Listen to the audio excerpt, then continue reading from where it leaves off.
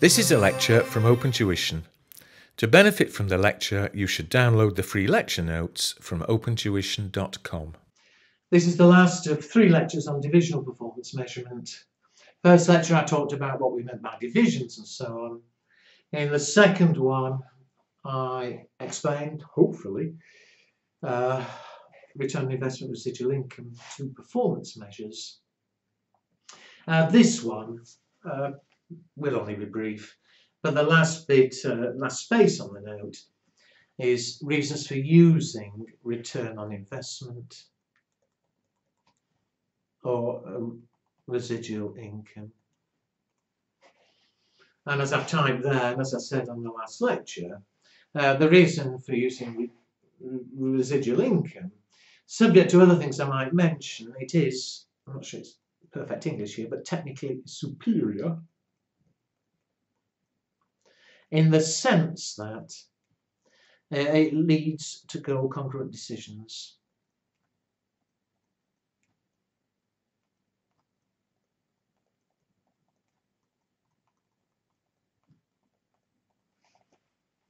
Oh, those two little examples make the point there. Uh, on the other hand, return on investment is far more common in practice uh, and the reason is um, that it's more easily understandable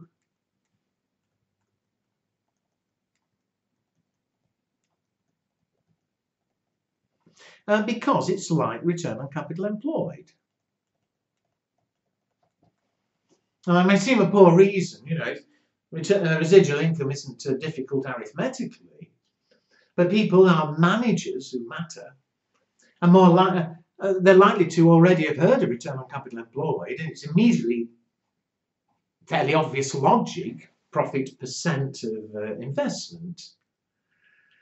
Uh, residual income confuses and worries people. Uh, you know, unless they have a lecture on it, it does seem rather odd. Um, so that's the real reason it, it, becomes more popular, to be perfectly honest. But uh, a couple of other things. Uh, where what can be a problem is residual income if you're comparing divisions. You know, not all divisions are going to be the same size, obviously. Some divisions might be very small, so there's small investment, but small profitability. Other divisions a lot bigger. Well, the trouble with residual income, one division uh, has a residual income of a thousand, uh, but it's terribly profitable in terms of percent profitability. There's very little investment in it. Another division is 20 times bigger and has a residual income of 5,000. But it's not really valid to compare them. So if you're comparing divisions, uh, return on investment does make more sense. It's better when comparing divisions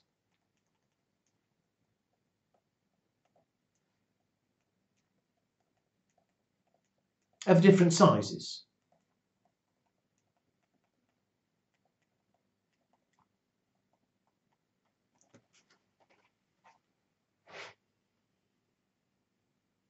Uh, finally, I won't go on, but uh, one thing I always think is a little bit stupid, but uh, it's been mentioned in exam answers, is that although I had to deliberately make up figures for example 2, which showed how return on investment can be a problem.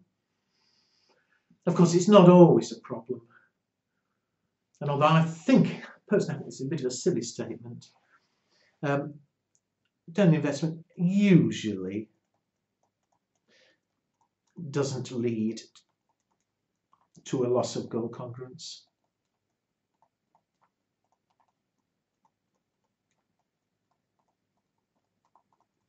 You know, people say, well, if it doesn't it's not very often a problem. If you don't very often get situations like example two, uh, why bother doing something that looks rather unusual, residual income?